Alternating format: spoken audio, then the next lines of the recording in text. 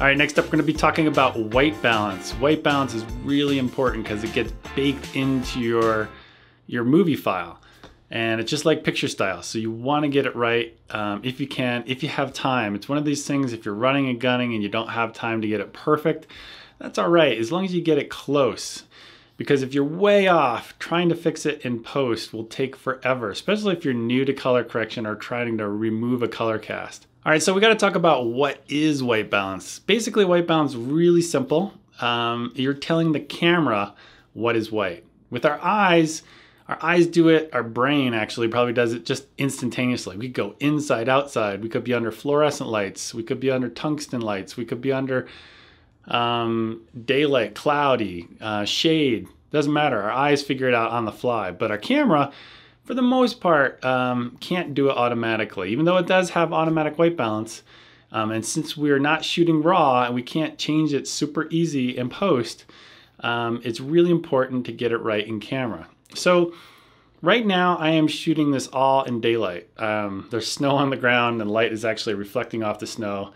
And actually the sun is back this way. So it's hitting the snow and kind of coming into my office window, which is actually a double pane kind of uh, sliding door actually.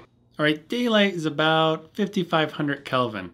Um, with these full frame cameras, the 6D and the 5D Mark III, we can actually dial in the Kelvin. So we can dial it into taste, whatever we want, a little bit warmer, a little bit cooler. We can also use the presets. Um, there's lots of different presets to choose from to get us there quickly. And we can also do custom. Um, so we can actually use something like a gray card or a white card. Um, this is usually a little bit more accurate to get a custom white balance. Right now, what I want to do is kind of step through all the different color temperatures. And I'm going to be using daylight as my base. So right now I don't have any soft boxes on. And what I'm going to do next is I'm actually going to turn the soft boxes on next. And these soft boxes have fluorescent lights on them. They're actually better than this kind of fluorescent light. This is an El Cheapo.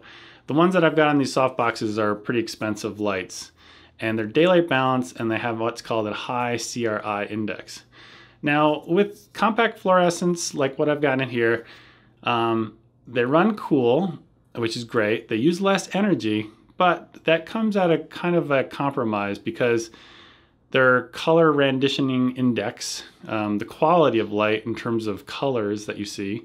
Like if you've ever been, uh, probably one of the lowest CRI number light would be something like a metal, hal metal halide light that you would see in a parking lot. And if you've ever looked at your car, let's say your car is normally blue and you're looking down at it under these um, parking lot lights, let's say, and you look down at it and your car looks green. It's not the right color. Well, has a very low CRI index. These, you can get in different varieties. Usually the ones that you buy from the store are pretty cheap. Um, sometimes have a low CRI. I think they're getting better.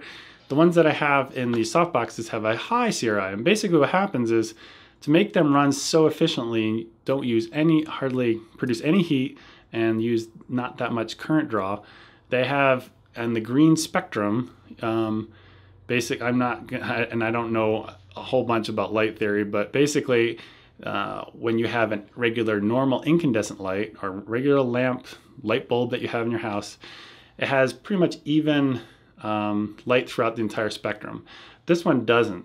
It doesn't have energy across the whole spectrum like an incandescent does. It has basically a big spike on green.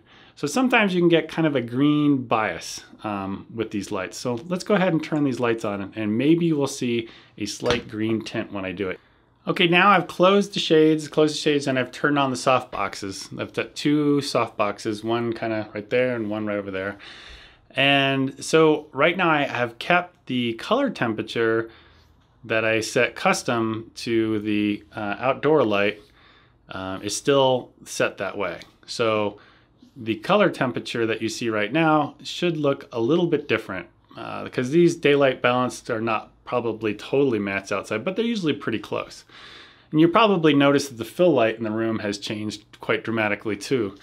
But let's go ahead now, I'm gonna do it and I'm gonna actually um, use my gray card and I'm going to get, uh, I use a custom white balance on these soft boxes and see how it changes. All right, now we've actually custom white balanced to a gray card using these uh, soft boxes with the fluorescent lights in them. And I think you're going to notice it looks maybe a little bit cooler than it did before.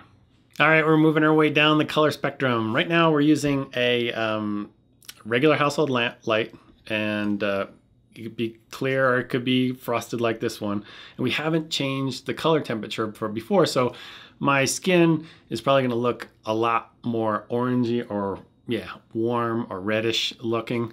Um, just a really quick history lesson just to kind of understand where all this is coming from. When Thomas Edison designed the light bulb a long time ago, he, I believe he used a carbon element in the light bulb and he wanted to match it after the candle. Uh, what color temperature the candle gives off. And from I understand from Wikipedia, it's around 1850 or so. Um, so, you know, the modern day light um, doesn't use carbon, it uses tungsten.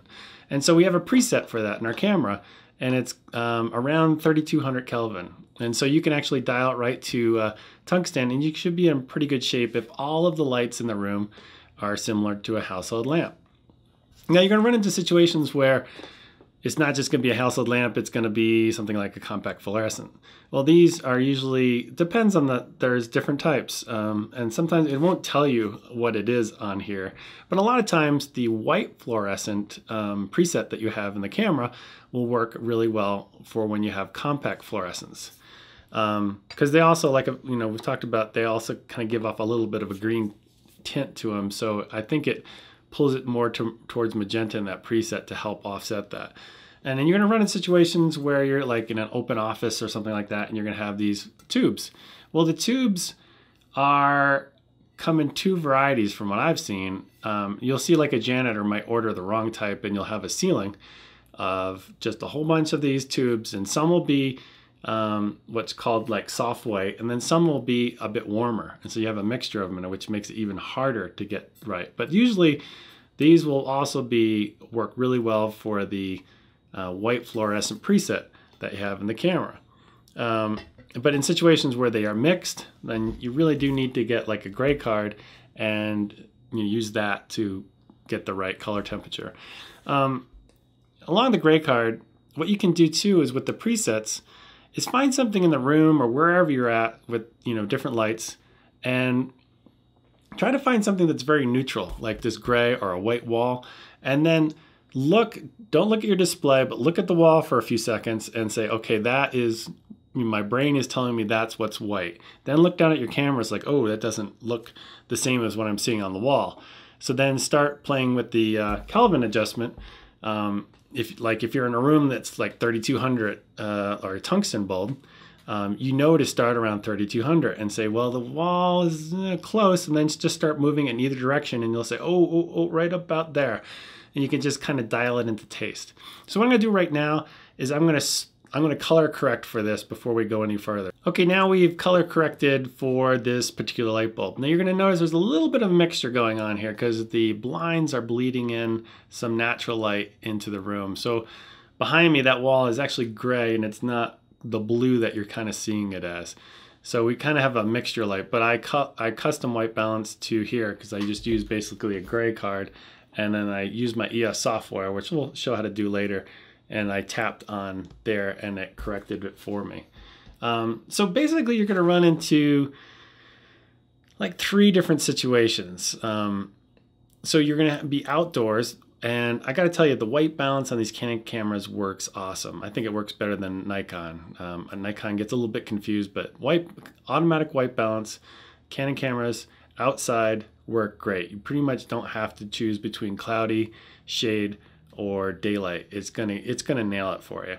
Um, and then so that's one situation. You're outside, automatic white balance works great. The second situation is you're going to be in a, with a light bulb like this, tungsten. Go to the tungsten preset, and it's going to work pretty good. And if it doesn't work pretty good and you're close, then go to the Kelvin adjustment, work your way down to 3200, and kind of work your way around. It won't.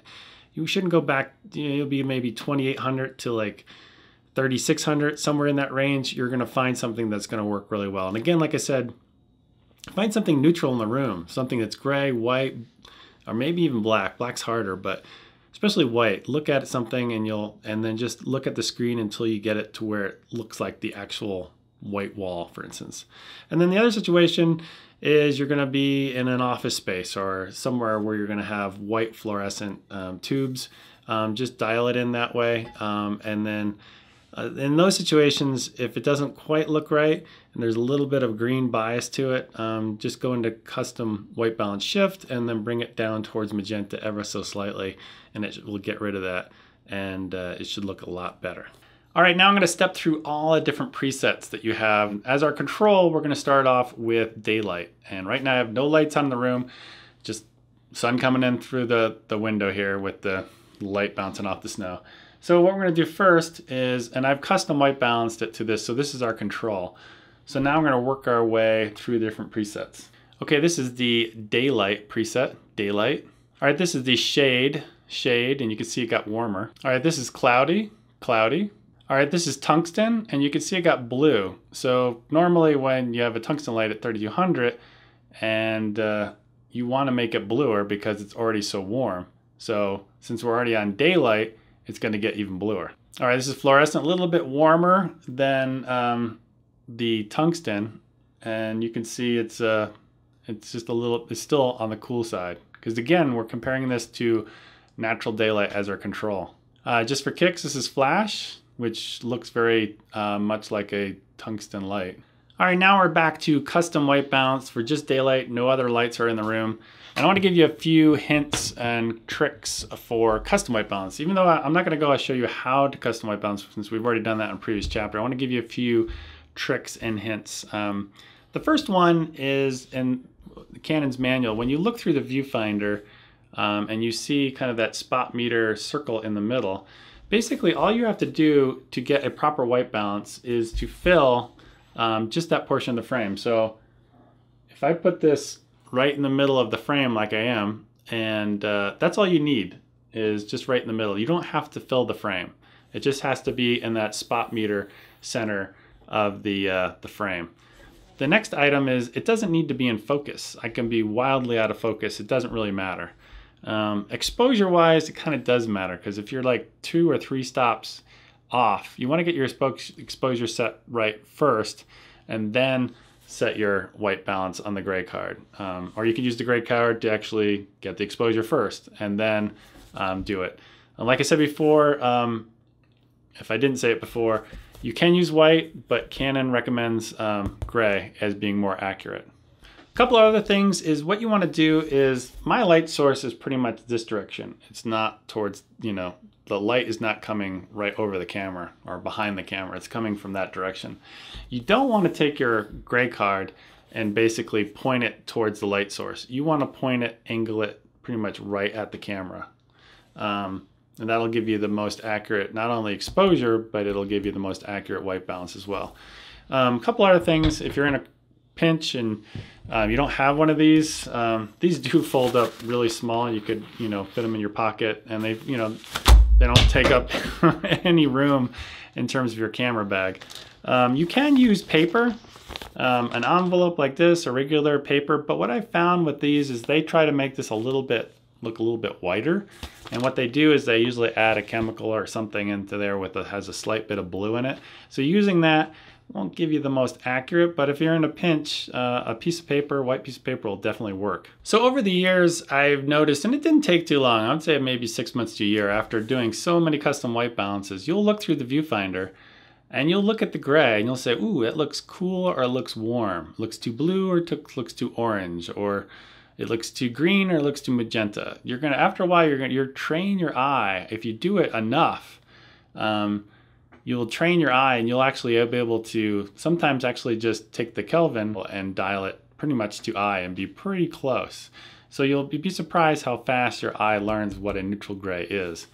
Um, there's lots of things, you know, in terms of video that I've trained my eye for. You know, I never saw moire before. Um, well, I did, but maybe on a subconscious level. But you know, now it annoys me, and I don't like to have moire.